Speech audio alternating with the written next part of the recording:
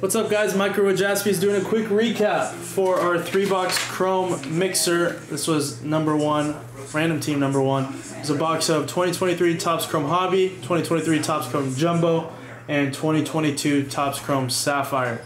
So a little multi-year mixer. Here are all the teams in case you forgot.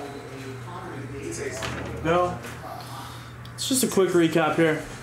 Zack Wheeler, Bobby Witt out of 125 some rookies and refractors. Shohei, Zack Wheeler, 1 out of 25 for the Phillies. And a Logan O'Hoppe out of 99.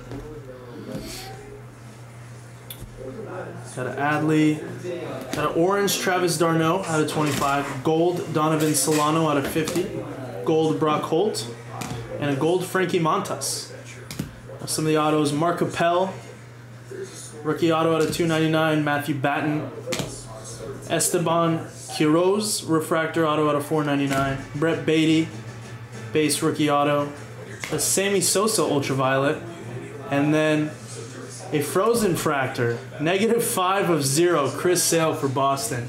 Pretty cool hit there. These are extremely rare. So, yeah, that's awesome.